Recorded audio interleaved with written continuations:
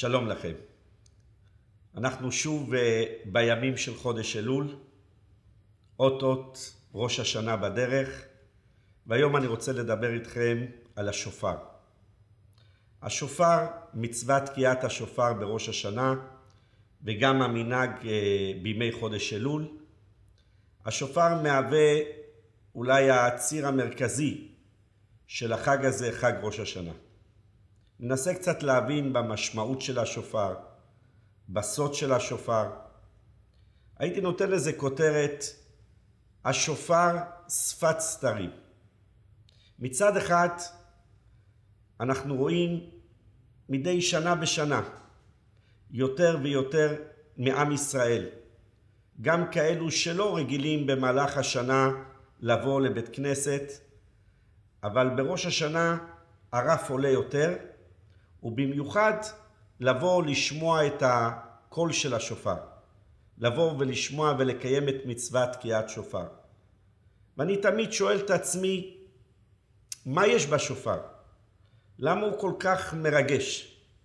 למה יותר ויותר מעם ישראל מרגישים את הצורך, מרגישים את, ה, את הקשר לקולו של השופר? קרן של עין, שמשמיע קולות. אפשר לומר שלושה סוגים של קולות. יש את התקיעה, הקול האחיד הזה, יש את השברים, הקול השבור, מה שנקרא שלוש סוגי תקיעות קצרות, ויש את התרועה, מין קול של יללה ובכי, תקיעות קצרות מקוטעות בזה אחר זה.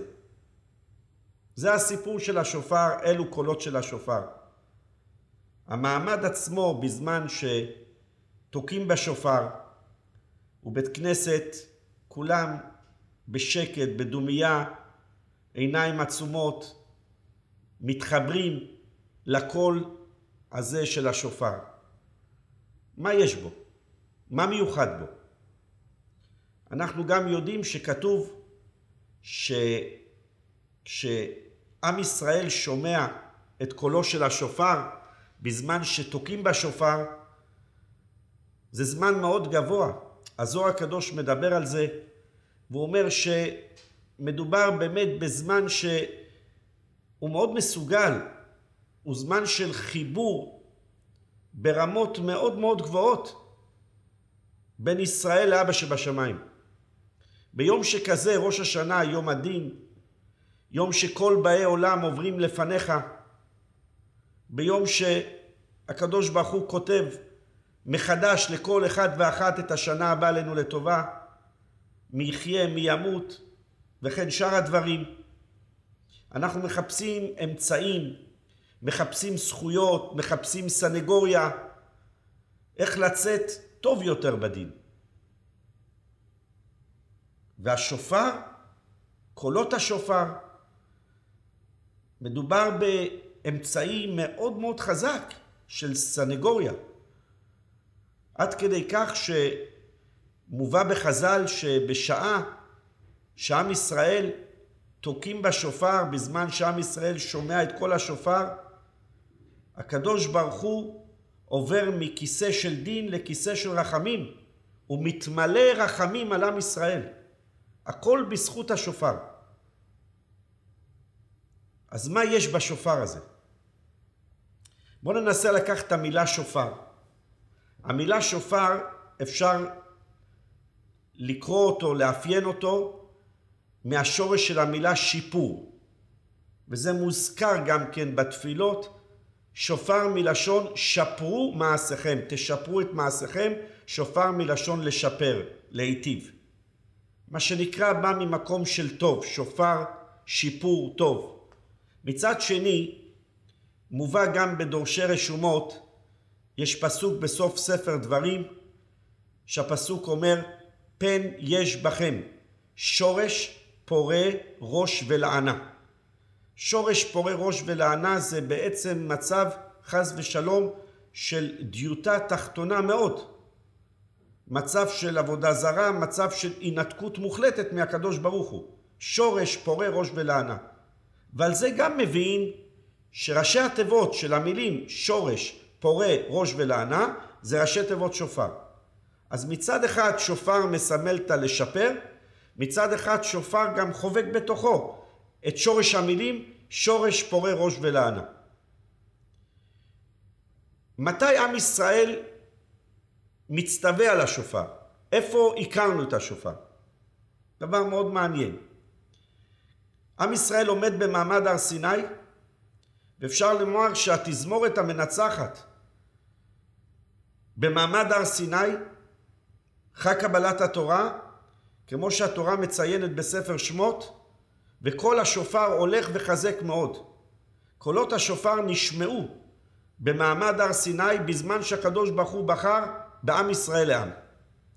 מצד האחר, אנחנו מצפים בכל עת ובכל רגע לגאולה העתידה, ואיך נדע את הגאולה העתידה? מה הציפייה של כל אחד מאיתנו לגאולה? שופרו של משיח. תקע בשופר גדול לחירותנו. או והיה ביום ההוא, כמו שהנביא אומר, ייתקע בשופר גדול. ובאו העובדים בארץ אשור והנידחים בארץ מצרים והשתחוו להשם בהר הקודש בירושלים. אנחנו פוגשים את השופר בזמן, אפשר לומר, הולדת של עם ישראל, ובאחרית הימים הגאולה שוב פעם דרך השופר, מין התחלה וסוף. בואו נתבונן בקולות שיוצאים מן השופר. יש לנו את הקול של התקיעה, שזה מאופיין כקול של אהבה, חסד ורחמים. תקיעה, קול אחד אחיד, שהוא מאופיין בדברי הקבלה כקול שמייצג חסד, אהבה ורחמים. יש את התרועה, שהוא דווקא מגיע ממקום של דין. תרועה, הקולות המקוטעים האלו, שזה נשמע לנו כקול יללה ובכי, שזה דווקא מגיע משורש של דינים. ויש את השברים באמצע, שהוא כנראה הממוצע ביניהם, המגשר ביניהם. אז יש את התקיעה שהוא מייצג אהבה, חסד ורחמים, יש את התרועה שהוא מייצג דין ומשפט, ושניהם מתאחדים יחד ויוצאים מתוך קולו של השופר. גם אם ניקח את התרועה עצמה, אפשר לקרוא את התרועה משורש המילה רוע, ואפשר לקרוא את התרועה משורש המילה רעות, חברות, חיבור.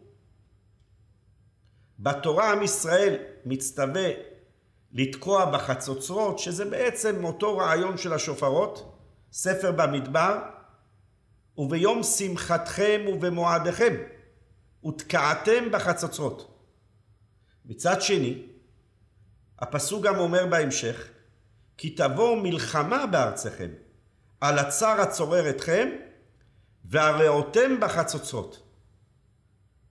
זאת אומרת, השופר מייצג גם מצב של שמחה ומועד, תיתנו ביטוי לשמחה ולמועד דרך החצוצרות, דרך הקולות של השופר.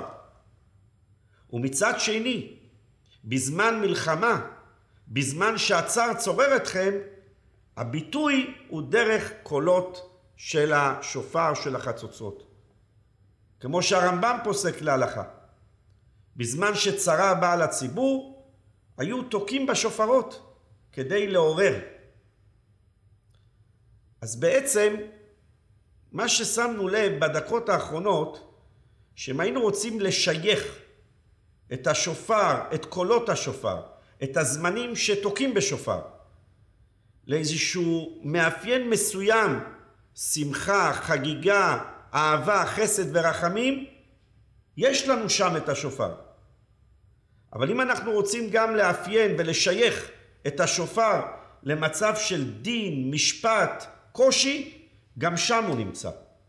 הוא בעצם כולל בתוכו את הכל אפשר לומר.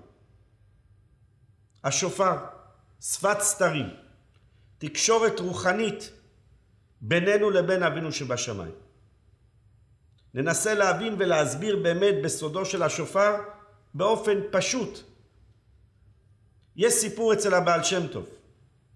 הבעל שם טוב בראש השנה, בית הכנסת מלא מפה לפה, הגיע לשם גם אחד מהכפרים הסמוכים להיות עם הצדיק הבעל שם טוב בראש השנה, והביא איתו את הבן שלו.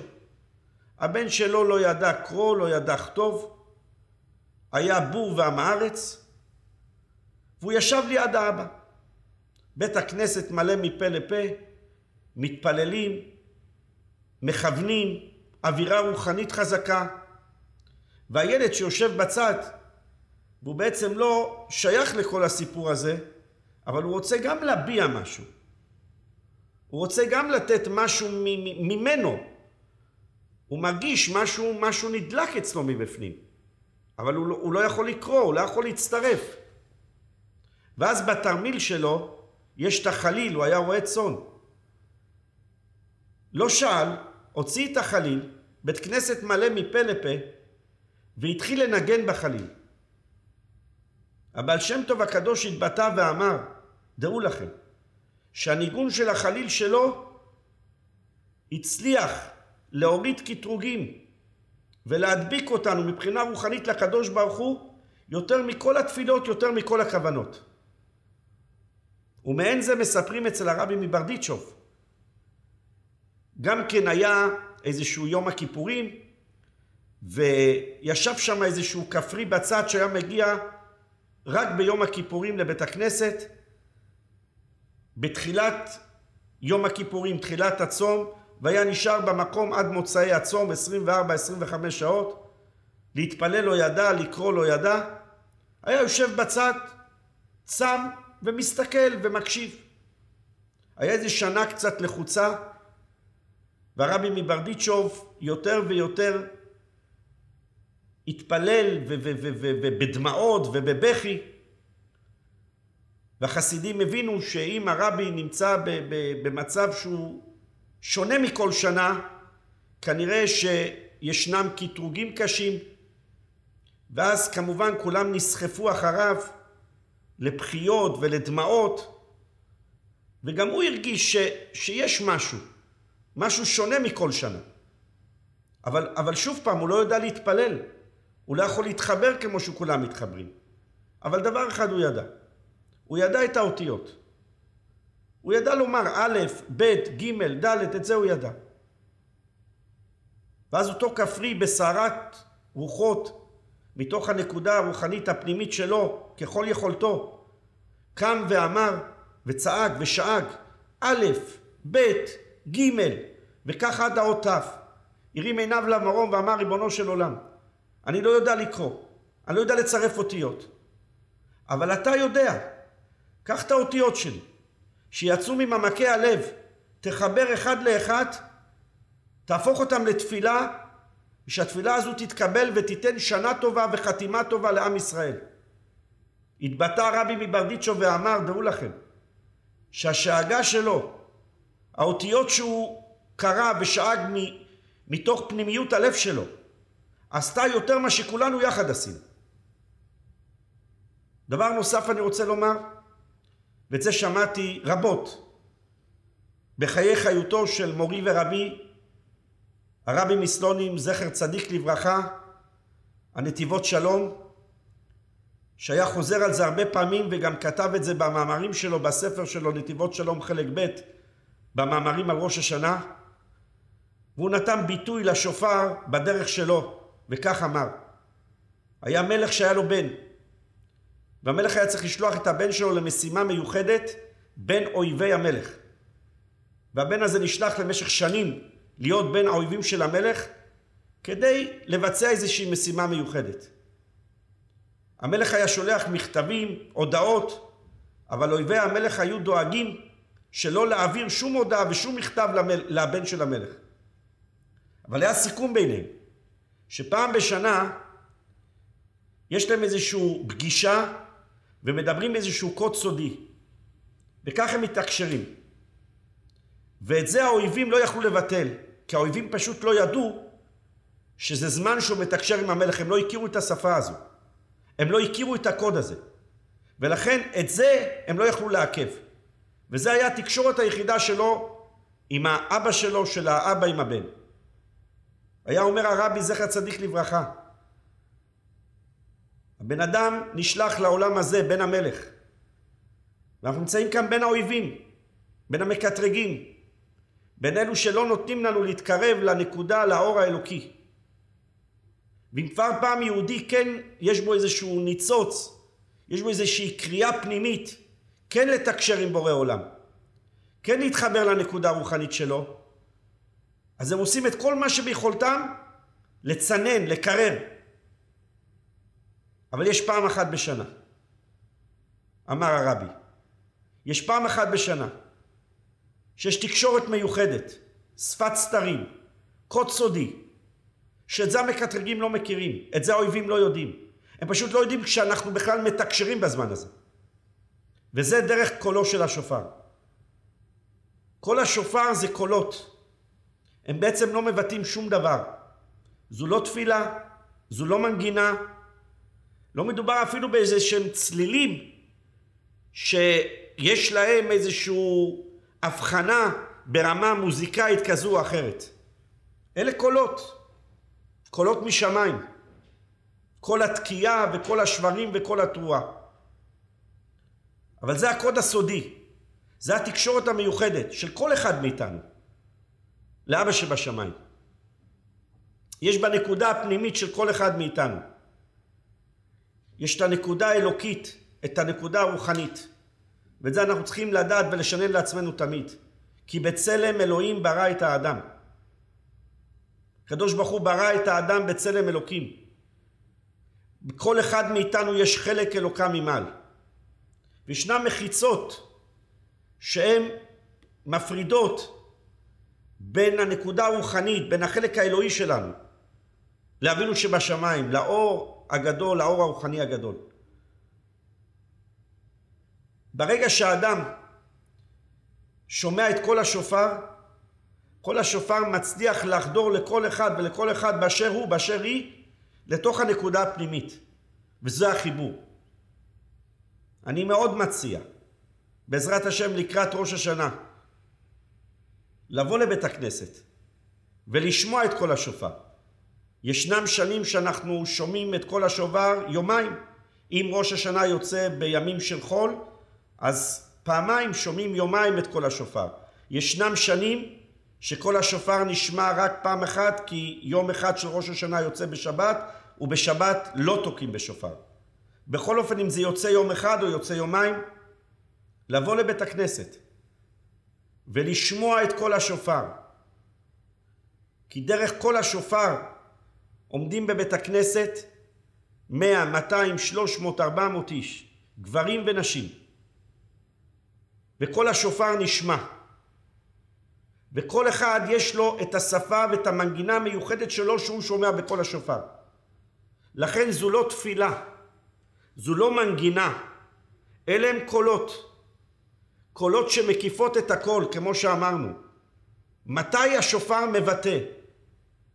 השופר מבטא ביום שמחתכם, והשופר מבטא ביום צרה, ביום מלחמה. מהם הקולות של השופר? יש את התקיעה שמבטא חסד, אהבה ורחמים, ויש את התרועה שזה מבטא דין ומשפט. המילה שופר כמו שאמרנו, מצד אחד שפרו מעשיכם ומצד אחד שורש פורה ראש ולענה. וזה בעצם מהותו של היום הזה. יום ראש השנה כמו שהגמרא מביאה במסכת ראש השנה. הגמרא אומרת מפני מה לא אומרים שירה והלל בראש השנה? הרי ראש השנה זה חג, ראש השנה זה ראש חודש, למה לא אומרים הלל בראש השנה? אומרת הגמרא בראש השנה בשם רב אבוע, אפשר שמלך יושב על כיסא משפט ודן את העולם לחיים ולמוות ואתם אומרים שירה? לא מתאים. ראש השנה לא מתאים ליום של, של, של שבח, של הלל. זה יום רציני, זה יום משפט. בן אדם יושב במשפט, תתחיל לשבח, להלל? כך כתוב בתלמוד בבלי. לעומת זאת, בתלמוד ירושלמי, כתוב הפוך לגמרי. שם כתוב איזה אומה כעם ישראל. כל אומה ואומה, ביום שיש להם משפט, מתעטף אדם שחורים, אדם יושב עצוב, דואג, וכך מכין את עצמו למשפט. אולם עם ישראל לובשים לבנים, מתרחצים, מסתפרים, אוכלים ושותים ושמחים ביום הזה, כי בטוחים הם שאלוקים ידון אותם לטובה. אז כמו שהשופר, שאולי הציר המרכזי של היום הזה, כך בעצם כל היום מאפיין גם את זה וגם את זה. וזה הכוח העצום. הוא מקיף את הכל, הוא מדבר אל הכל, הוא מבטא להכל. רוצה לסיים עם סיפור של שופר, תקיעת שופר בטורקיה. הגיע שם על אחד הערים, זה סיפור של 100-120 שנה. הגיע אדם בשנות ה-60 לחייו, לא הכירו אותו לפני כן. היה יושב בבית מדרש יום ולילה ולומד תורה, לא מדבר עם אף אחד. והרגישו באדם שהוא, שהוא איש קדוש, שהוא איש מיוחד, היה עסוק כל כולו ברוחניות והיה ניזון מפת לחם עם מעט מים. שניסו היו לדבר איתו בדברי חולין או משהו כזה, לא היה מתקשר בכלל. בדברי תורה פה ושם לפעמים היה אומר משהו. הגיע ראש השנה, ניגשו אליו, אמרו לו, אולי תכבד אותנו, אולי אתה יודע לתקוע בשופר, אנחנו רוצים שאתה תתקע בשופר. הרי ידוע שהיות ובאמת השופר מייצג ומסמל, אז חשוב מאוד שבעל תוקע השופר יהיה אדם משכמו ומעלה מבחינה רוחנית, והוא הסכים. אבל לפני שהוא היה תוקע בשופר, היה מספר סיפור. וכך היה נוהג במשך שנים ארוכות שהוא תקע בשופר. ככה הוא לא היה מדבר בציבור בכלל. אנשים היו ניגשים אליו, היה עונה להם. אבל לתת איזושהי דרשה, שיחה בציבור, לא היה נותן. היה נותן שיחה אחת פעם בשנה, בראש השנה, לפני שהיה עולה לתקוע בשופר, היה מספר סיפור. ותמיד היה מספר את אותו סיפור. כל שנה מחדש, ועם ראש השנה יומיים ביום חול, היה מספר את זה יומיים. והיה מספר כך, שהיה אדם יהודי שבשנות ה-20, ה-30 לחייו, לא עמד בניסיון והתנצר. יום אחד היה חגיגה של הנוצרים, ושתו והשתכרו, ואז הביאו שופר, ואמרו לו, נו, אתה יהודי, אתה בטח יודע לתקוע בשופר. וכל הגויים עומדים ככה מסביב, והוא תוקע תקיעה ותוקע שברים, וכשמגיע לתקוע את התרועה, הוא לא מצליח. תקיעה ושברים הולך, תרועה לא מצליח. ולא היה מבין למה. עד שיום אחד הוא רץ לרב ואמר הרב חטאתי, עזבתי את היהדות, התנצרתי, אבל עשיתי את הגרוע מכל.